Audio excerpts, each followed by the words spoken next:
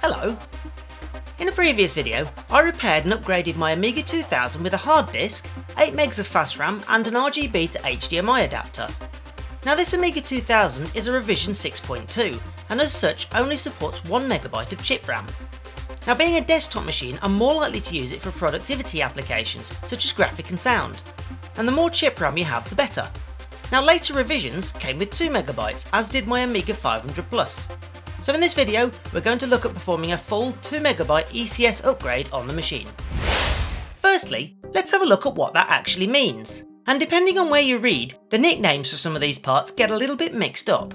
The early OCS Amigas came with the standard Agnus chip, also known as the thin Agnus, which, being 18-bit, only supported 512k of chip RAM. This included the Amiga 1000 up to and including revision 5 of the A500, and up to and including revision 4.5 of the Amiga 2000. The next revision of the Agnus chip, dubbed the FAT or Fatter Agnus, which supported 1MB of chip RAM via 19-bit pointers, was included in the Amiga 500s from revision 6, the Amiga 2000s from revision 6, and the CD-TV. Now there are some other features added to this revision, but we don't need to know about those details.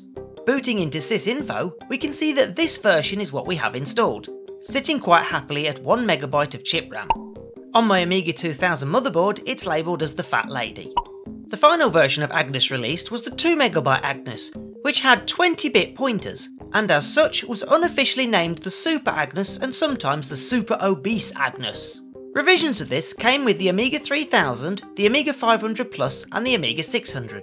Unfortunately, these different versions of Agnus, whilst being the same size, are not 100% pin compatible with each other, partly due to the increasing number of bits, so you can't just swap the chip and expect it to work. And aside from that problem, the extra 1MB of chip RAM has to come from somewhere too.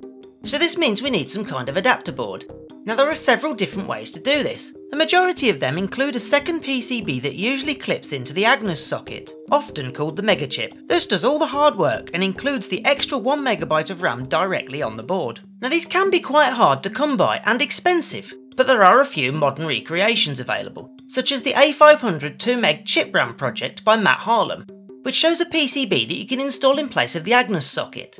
This time, you have to remove the socket and install header pins, but that makes it more secure and less likely to pop off. It also makes it cheaper, as those chip socket plugs are hard to come by. However, after recently ordering an RGB to HDMI adapter from LinuxJedi, I found there was a variant of this adapter board available too, designed to be easier to solder, so I placed an order for this PCB and its required components, and at the same time I found a compatible 2MB Agnus. Now the other thing needed is an ECS version of the Denise chip, this will give us access to the higher resolution productivity screen modes. The good news here is though, no mods are needed, this one is a straightforward swap. And after a few weeks, the blank PCBs and the required parts arrived, leaving the job of assembling it.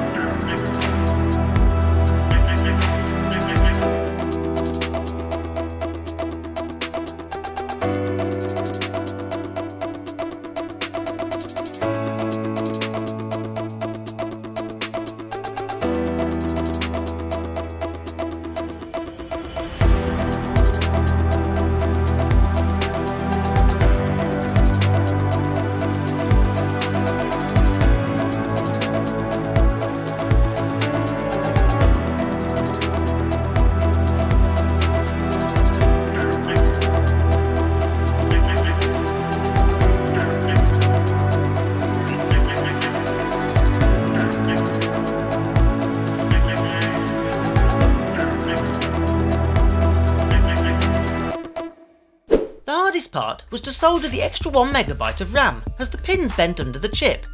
In the end, I decided to apply lots of flux, apply solder to the pads on the PCB and use a heat gun to solder it in place. Now solder paste would have been ideal here, but I really haven't had any luck with it. So, next, onto the A2000, and this will require me removing the main board.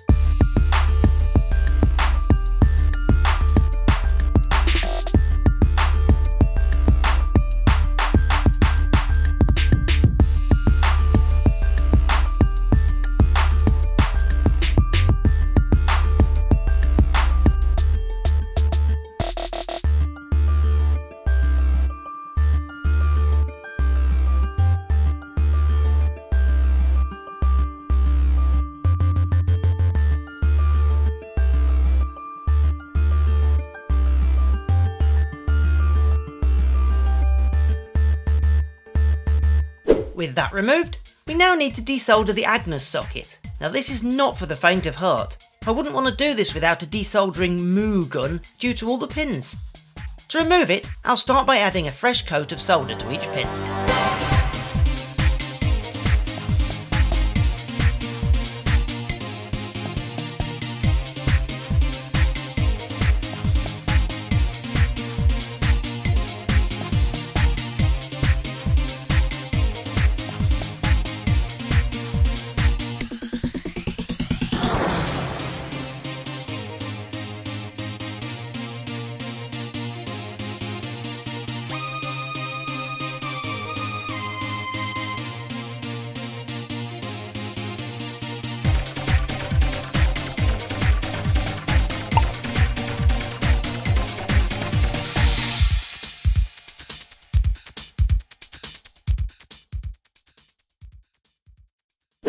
One pin got a little bit stuck there and needed a little help.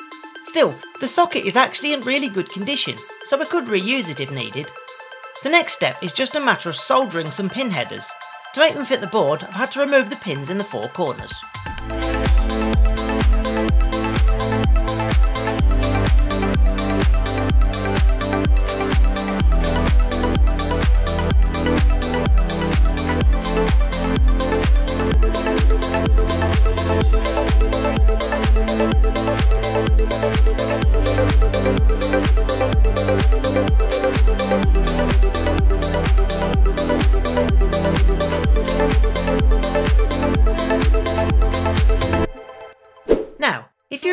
Earlier, each revision of the Agnus chip used an increasing number of bits, and this one, being 20 bits, needs access to the A20 address line, not present on this socket.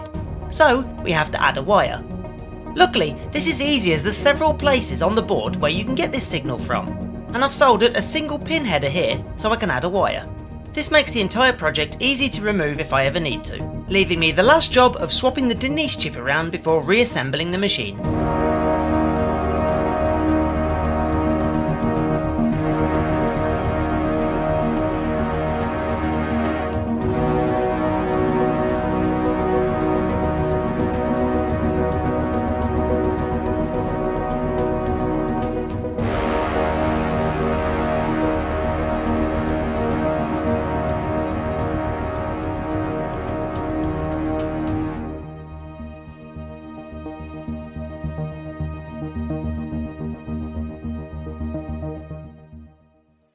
That just leaves testing this mod out. So, like before, I'll boot up into sysinfo and see if it detects the new Agnus, Denise and 1 meg extra of chip RAM totaling 2 meg.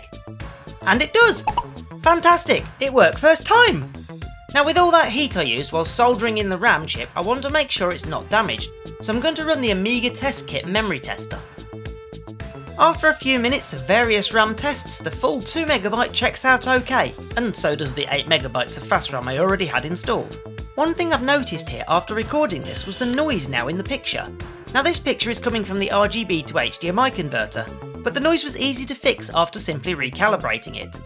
I suspect this subtle change is as a result of the new Denise chip, maybe due to tolerances of components like capacitors and resistors inside it. So there we have it! My Amiga 2000 is now a fully working ECS system, which is great for me. Now it's not the easiest of mods, and if you're not confident with soldering, I'd recommend getting a pre-made board and maybe one that has the chip socket plug on the back. All that said, I was lucky and mine worked perfectly first time. I hope you found this video interesting. Thanks for watching, and I'll see you in the next one.